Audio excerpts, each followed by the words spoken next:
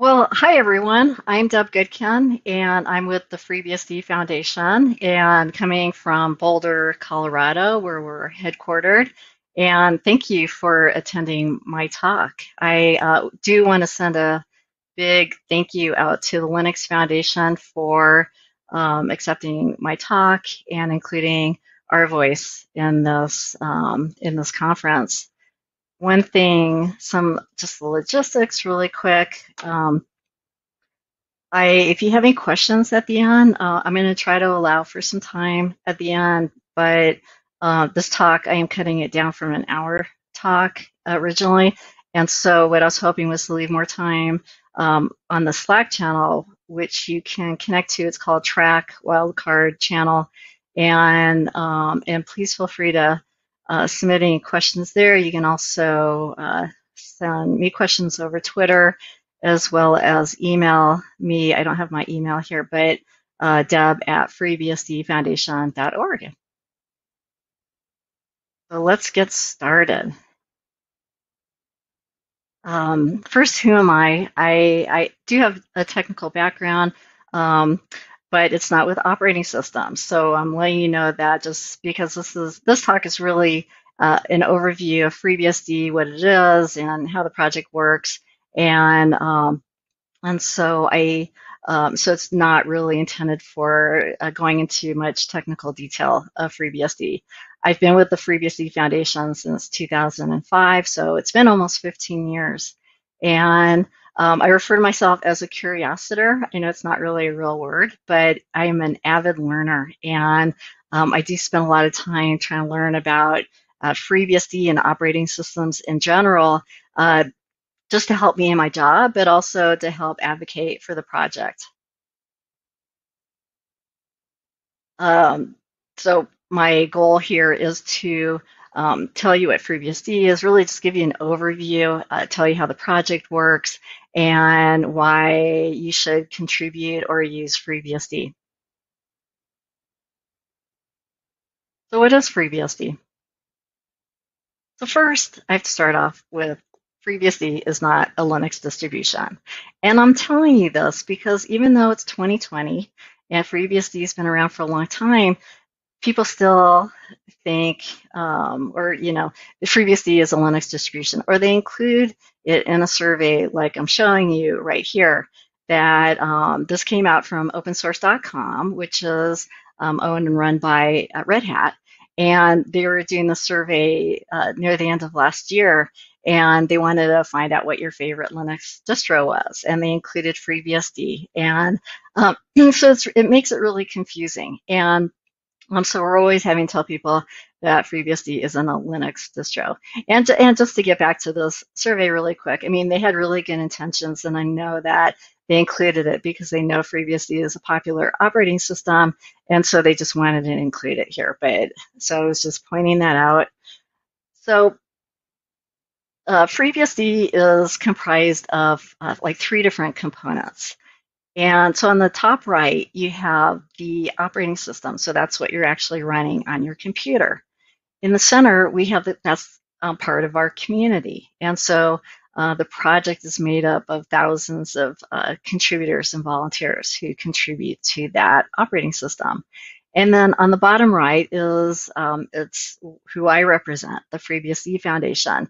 And we're a separate organization, but we are a, a nonprofit. And I'll talk about us in a little bit. So FreeBSD is one of the oldest, largest, and most successful open source projects in the world. It's a complete operating system. So what does that mean? Uh, when you compare it to Linux, uh, Linux is the kernel. So this is why you have distros out there because then you're integrating the kernel with the other components that make up an operating system. And FreeBSD is the whole operating system. So it includes the kernel, the userland, documentation, tools, utilities, anything that you need to make up an operating system. Uh, there's over 33,000 software packages that you can use. So that allows you to customize uh, your operating system to what you want. So you get to have like a, a GUI or access the internet. It's created by thousands of contributors from all around the world. FreeBSD runs on many different platforms. So all the, or you know, most of the popular CPUs out there it runs on, as well as uh, cloud platforms too. And there are tens of millions of deployments out there. So this is my uh, really high level abridged version of where FreeBSD descended from. So you have uh, Unix that came out of Bell Labs of AT&T back in 1969, and then uh, Berkeley started working on it um, and doing a lot of research and innovation on it. And then in uh, early 93, um, it branched out into FreeBSD and NetBSD. Then I have this timeline here that this is also a very shortened version of a timeline that we have on uh, on our website. And you, on the bottom left, you can see the URL that will take you to the timeline. And I'd really encourage you to go look at that because this is really, you know, interesting information about the history of FreeBSD as well as um, the history of Unix. And so you can see on the top right that Unix was developed in 69. And then in 74, uh, Berkeley started modifying and improving it. And then in 92 is when the first unencumbered full operating system was available, and that was called 386 BSD. And then in 93, uh, FreeBSD split off um, and it was formed. And actually, on June 19th, 1993, that was when the um, the name was FreeBSD was chosen. And then in between that time, between 93, 92 and um, in 94, there, there was a lawsuit and um, and it was brought on by AT&T. And so um, because of that, it just uh, took up the uh, developers' time that who had to deal with that from Berkeley. And so uh, during that period, there wasn't a lot of adoption or, or development. And so it's it slowed down the progress for for a little bit of time.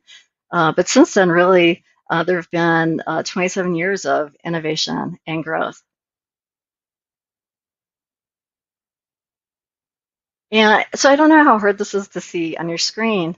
Um, maybe you can zoom in on it. And, and the reason why I show this large uh, flowchart of Unix um, and is because to show you how, like on the right here, in the pink blocks, you have all these corporations who used FreeBSD. In fact, when I was at IBM, uh, we had our own version of Unix and HP and Sun and all these different companies back then were using some of their own variations of FreeBSD. I'm sorry, of Unix.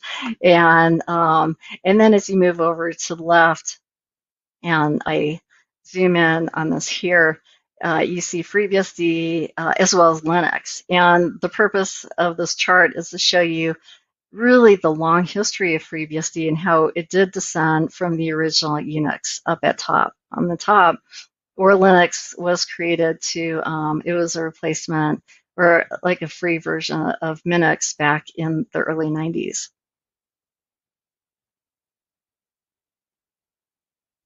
So who uses FreeBSD? Um, these aren't the only companies that use FreeBSD, but I chose these names because they're uh, marquee companies, they're recognizable names that I'm sure most of you are familiar with. And so it shows that there are a lot of large corporations out there that do use FreeBSD. And most likely you use FreeBSD. So if you have an iPhone or an Apple computer, uh, the Mac OS was based originally on BSD, and then uh, most of those components were replaced by FreeBSD. And uh, Netflix, if you're watching a movie, all that streaming is being streamed from FreeBSD servers from around the world. If you're playing with a Sony PlayStation, that is also FreeBSD based. So why should you use FreeBSD? Uh, I mean, when I think about it, or when people ask me about it, community is is my first thought and, and answer. And, and the reason why is because it really is a, a welcoming and friendly and inclusive community. Um, is it perfect? No, but the thing that I like about the community is not only do they come back with constructive criticism if they're like reviewing your changes or code, um, but they do work on improving. So um, So if there's a problem, then I mean, you may have a heated discussion, um, but usually it's resolved in in a positive way. Uh, it's also known for excellent documentation. And so as I learn and I play around with FreeBSD, uh, not only do we have great documentation that comes with the operating system, uh, you can search for uh, help and you will almost always find your answer. Uh, we have uh, modern and good tooling and um, really a, a, consistent development and release process that that really has been built on from the original BSD and just only improved on over the years. And like I said before, we support a lot of architectures. And the other thing that stands out really is, is license, is that it is a permissive license. And um, and so it's what that means is that you can uh, make your changes, you can implement something that is your own IP, your own secret sauce, and you do not have to give that back. Um, though we do find that most companies do give back most of their code, uh, which is awesome. So how does the project work? Um, I just don't mind me. Every so often, I'm looking at the time since I want to make sure that we uh, that I cover all the um, you know the the points I really want to cover here. Uh, but anyway, so the FreeBSD Foundation is uh, a whole different um, yeah, organization than the project, and so we do not uh, control uh, or run the project. We have a core team, which is really the leadership of FreeBSD. It's I, I, sometimes I think of them as upper managers. They're the, the, governance team, and they are elected. And in fact, we just had elections, and so we have a whole new core team, and it's starting, uh, I believe, uh, this week. And so there's a whole transition going on. Uh, we have a great uh, mentorship model that we follow, and um, and so when you are new and you're showing interest and you're contributing to the project, someone will reach out to you and offer to be a mentor, and uh, that's how you get your commitment, and you can actually uh, commit your changes to the source tree. We have different functional teams that um, make up how um, things are done. Take a, they have some of the res different responsibilities of the project, and I'll, I'll cover that in a sec. And then, um, and it's a very collaborative environment. So this is how I view uh, the organization.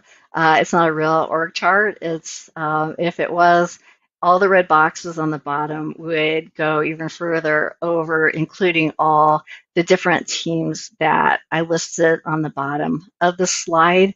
And um, it, it just would have been too messy. So it doesn't mean if you have a red box that you're more important. Um, but what I'm showing here is how uh, sort of on the top level, you have the foundation and then you have the project. So two separate organizations. And then you have that core team that I just talked about. And, um, and so they help provide guidance and, and leadership to the project. And then you have these functional teams, which have all these different responsibilities to um, support FreeBSD. And the nice thing about having these functional teams is it allows people who are interested in contributing to the project uh, to participate in one with either they have the skills and experience to contribute, or maybe they want to gain those skills and experience, and so they could participate in um, in one of these functional teams. Uh, but also, it's not required, so it's just something that's available to help. And this lists what the responsibilities are of the core team, and um, and so you don't have one person who's who has the final say or who's actually in charge of the project. And just so you know, you can access all these slides because I'm not going to be able to cover all of them during this talk. And, um, and so you can spend a little more time uh, looking into some of these areas. Uh, I am highlighting the age distribution of the contributors or the committers just to show you that we uh, do have quite a few young people who are uh, continuing to join the project and to contribute, as well as um, on the older side too. And um, and what's great about this is that having these people, the well, so the older people actually most of them have been on the project since the beginning, which I think is awesome because they're still involved, they're still contributing, and they're available and they want to help. And so they're there to help bring up these newer people um, and and teach them, and uh, and they're very approachable. And then you have a lot of people in the middle, and so you have so it really shows the sustainability of the project as well as the growth, and um, and keeping the knowledge to within the project or sharing that knowledge. Uh, the release, I'll, I'll, just go over this really quickly. Uh, we have uh, two different branches. One's the current, this is at the bottom, uh, current and stable. Current's all, any of your changes that you make, and then stable is the stable branch um, where anything that has been changed, as long as it's been tested and improved, then it can move into the stable branch. Um, one thing about uh, FreeBSD is we really follow that principle of least astonishment. So what it means is, is don't make changes just to make changes. Uh, if um, yeah, so, so don't break things that already work, but it doesn't mean don't make changes. We're still very innovative, but uh, people think through their changes more. They um, might uh, present with their thoughts and ideas to different people in the community and get their input. And so there's more thought into things before uh, changes are actually made.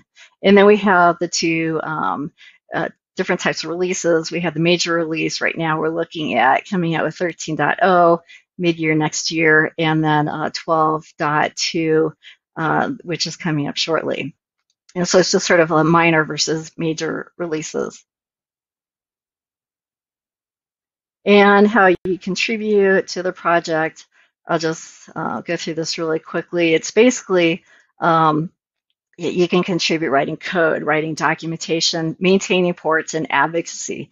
Many different ways that you can step in really quickly um, to contribute. And I always uh, suggest, even if people uh, have a computer science background, um, and they want to get started, even doing documentation is the best way to get started because you have to understand technically how things work, and it's a great way to learn how things work.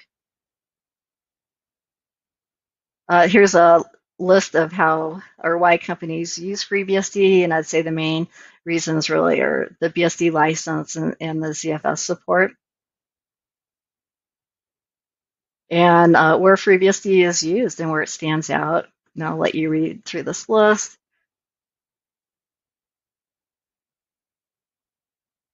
And uh, when you look at the kernel features, um, I mean, this is, these are this is the basic functionality that an operating system needs nowadays. And so, um, so we have that in our operating system. And the same holds with userland. But one thing I would say is that when you look at, um, you know, the kernel and the userland tools, is that because it's one, um, you know, one operating, you know, it's one operating operating system. You have everything together. Um, it's very coherent, and you have one team that is working on this together. And so, um, and so the whole effort of putting this operating system together is it's definitely a collaborative effort. But you have like uh, when you do testing, the testing is done, um, you know, by the same group of people across the whole operating system. So you don't have different pieces that are coming from different areas and um, trying to mesh it together. It's a very, you know, coherent system. Um, other features of FreeBSD uh, from the ZFS, we're actually, the foundation's actually funding a few ZFS projects currently. Uh, the dtrace for, uh, you know, like real-time debugging and performance analysis. Jails, we uh, developed the first um, you know, containers back in early 2000, and, and jails are used a lot for containerization. bhyve, we have our own hypervisor, uh, the network stack, or um, you know, the TCP/IP uh, was developed originally in BSD and improved on in FreeBSD, and is still being used, and it's used in um, a lot of different operating systems out there right now. And then Capsicum, which is out of University of Cambridge, they're doing a lot of work with this in security right now. The foundation, um, it's we're here in Boulder, Colorado. We're a nonprofit. Uh, one thing I want to point out is we are classified as a 501c3, and which means that we're a public charity and we're for the public good. So our whole purpose is to support the FreeBSD project. And uh, comparing to um, other types of foundations, which usually are 501c6s, which what that means is that they're still a nonprofit, but they're a trade association. And so that means they're focused on commercial users and companies out there. And so a good example of that would be the Linux Foundation. And so, um, so that's how we differ. Uh, we're 100% funded by donations, and really our purpose is to step in and help guide the project as well as to fill critical needs. So I have this slide because a lot of times I give a talk like this at more Linux-oriented conferences, which I consider this one to be. And um, and so really, it's I'm not trying to say we should code together because it's you know different operating systems, but I think that it really helps if you're working on operating system to, to understand others and uh, because you learn, you learn pros and cons. And so if you uh, we all have successes and failures, and so you learn from each, and um, and so um, and and so it just it only makes you better at what you do. We have different coding uh, philosophies and methodologies, and so it's great to understand both and why you might like one over the other. And um, with our our smaller code base, I mean, we have like in our kernel, we have I haven't checked recently, but maybe five million lines of code versus Linux is at about 26 million lines of code, and this is just the kernel.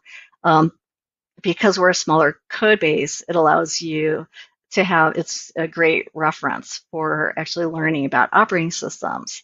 And then I include this quote at the bottom that I had read from this one guy. And I think that this is true. It just makes you better at what, um, you know, what you're doing with the operating system. So why should you contribute to FreeBSD? Uh, I mean, really, to be a community. So if you are looking for a new project to uh, contribute to, FreeBSD is great because first, our strong mentoring culture, as well as just the community and being inclusive and welcoming. It's uh, like I was pointing out before, it, the operating system is a great way to learn uh, systems programming and just to study operating systems. And because we're a smaller project, um, the size of it allows you to make notable contributions. And so you can uh, start contributing in an area and be recognized for that. And uh, when I was talking about sort of on that uh, age graph that I showed earlier, um, a lot of those people are notable BSD and FreeBSD founders, and they're very approachable, and they actually and they do want to help.